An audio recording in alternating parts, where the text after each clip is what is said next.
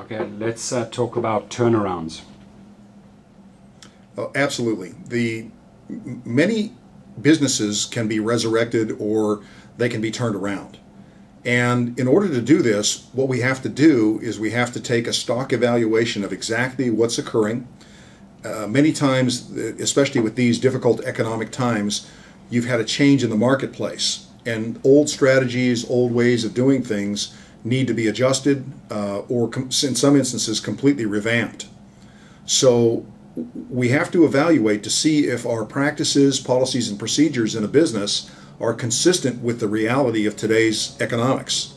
And sometimes we have to relearn, we have to reteach, and we have to recalibrate a business in order to be able to address uh, current times. A good example would be uh, the nature of advertising. In the old days, as a real estate broker, we were able to advertise in a local newspaper uh, and in the real estate section, uh, penny saver, etc. Uh, and what's happened is is that these avenues are drying up due to the fact that everybody is communicating via the internet. So unless you are hip to the internet type of communication as far as your business is concerned, you're lost in today's market. You're a dinosaur.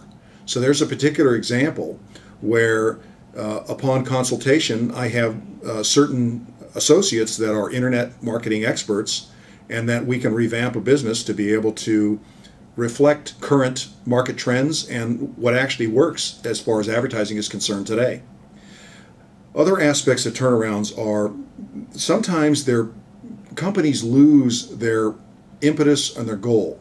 Sometimes what happens is the original energy that the founder uh, or the main players in that business uh, uh, expands has ceased to be put into the business. And you either have to find new management to put the time and effort into it, uh, or you have to uh, re-energize it, and the the original founder needs to pay more attention to the business. A lot of times, it's neglect. Uh, it depends on the it depends on the situation, but one of the things that we offer here at uh, Tao Law Group is the ability to go in and, and do a survey of finding out the exact salient points of why or why not a business is working or isn't.